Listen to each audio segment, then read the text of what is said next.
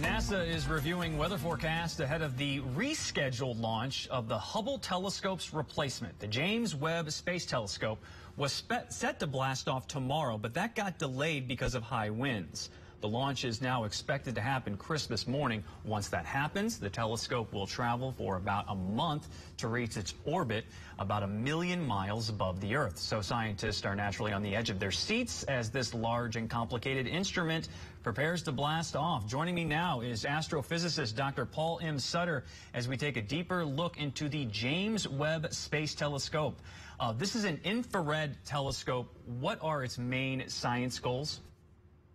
Yeah, this is this isn't quite like the Hubble. So the Hubble is famous for those those stunning images, and, and, Hubble was an optical telescope. It took pictures in the same kind of wavelengths that our eyes are sensitive to.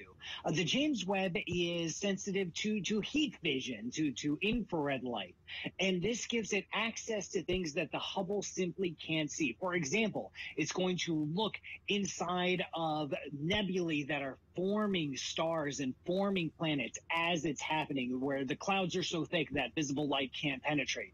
It's going to look at the light passing through planetary atmospheres. It's going to be an exoplanet hunter searching for life outside the Earth. And it's going to peer back to past 13 billion years of cosmic history to uncover the first stars and galaxies ever to appear in our universe. So this seems like a pretty complex telescope. That's one way to put it. There are over a million moving parts on this telescope. And the reason it has to be so complex, it is gigantic. It is over 19 feet across. This is the largest mirror we have ever put into space. And it's so big, it literally can't fit on a rocket. It's wider than any rocket we have. So we have to fold it up in this uh, flower shaped origami pattern in order to put it in the rocket, and then hopefully it will deploy and we can get some science done. Pretty amazing stuff here. So why does this uh, replacement telescope need to be sent to a Lagrange point instead of being in Earth's orbit? Right. Um, it's because this is an infrared telescope.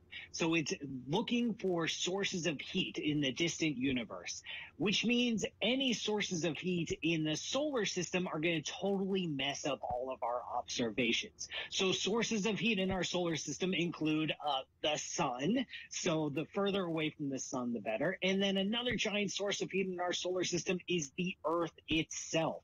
So we have to put this instrument far away from the Earth. We have to deploy this giant heat shield on the back of it so that the sun and the Earth are always behind the instrument. And then the telescope itself will maintain some coolant so it can chill down and it can make those very, very delicate observations. Why is it looking for heat specifically?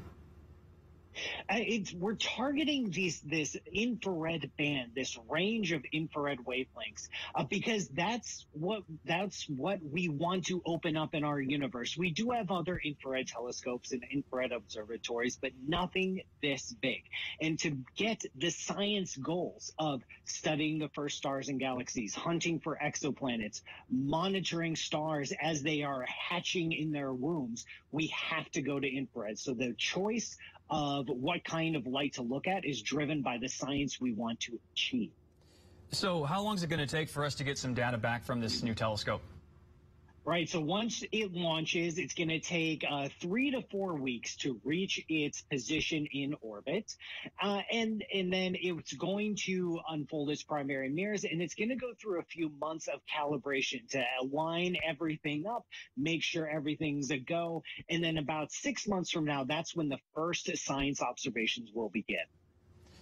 Once again, the James Webb Space Telescope, it's set to launch tomorrow, December 24th. Astrophysicist Dr. Paul M. Sutter, thank you so much for breaking this down for us. We appreciate it. Thanks for having me on.